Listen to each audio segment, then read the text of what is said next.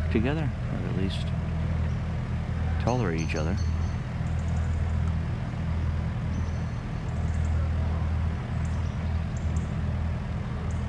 The great blue heron just patiently waits where the white heron actively fishes.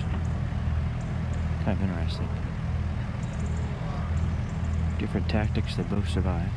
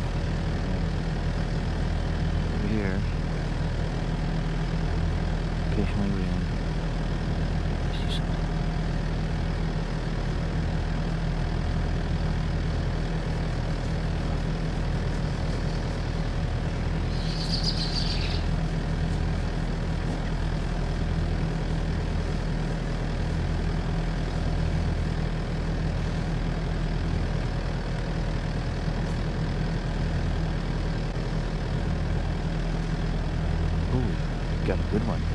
You're going deep.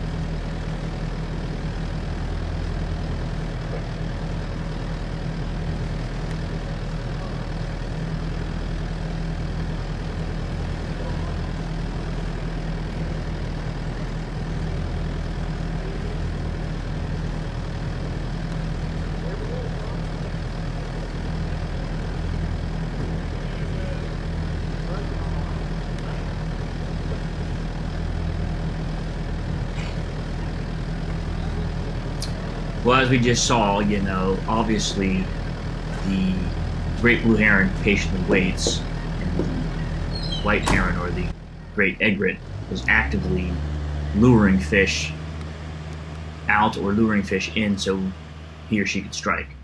And yeah, what's pretty amazing is if you if you read here, it's like a recent 2015 report on they've observed officially observed. I guess that's probably the key that certain species birds of prey use a baiting tactic to to you know to catch their fish.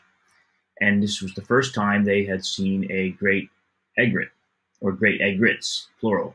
They have three cases here. Like uh, the third instance here uh, filmed in dominican republic. Great egret can be seen manipulating pieces of bread in a pond and finally catching a fish. And earlier they talk about using a piece of pizza crust, you know, to put it in the water and fish, little fish would come up and he'd grab them. So obviously they realize, hey, that's attracting fish, let's use it. And the discussion is interesting to qualify it as an active bait fishing behavior, the use by an animal of an edible bait or inedible lure item to attract and or distract fish in order to catch them, followed by a waiting period, some longer, some shorter, must be observed. Now, the bird with its feet kicking up little things like the one commenter on uh, you know a couple videos ago on the on the white heron invention they do that you know to attract the fish. So it is a way of luring them by using debris you know little pieces of, of, of you know little things that pop up. Might be even little insects and little organisms and little pieces of uh, leaves and dirt that would attract fish. And or maybe it sometimes scares fish out in the open, and either way, he or she, the great egret, can strike and get a fish because they can see him then. So I consider that also like a method of uh, bait fishing, although using, you know, not a piece of bread, but using um, the action of the foot to create an environment where fish would be attracted towards the great egret for their demise. Anyway, kind of interesting. I'll put a link to this PDF down in the description if anyone's interested. It's not that long. Oh, wow. Look at that beautiful bird right there. Catching some rays.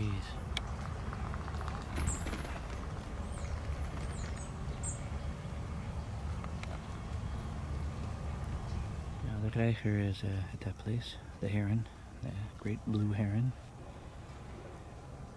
Must be some good fish. Uh,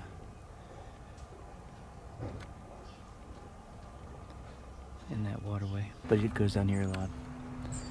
Now we're just standing over there where those bikers are. Cool area.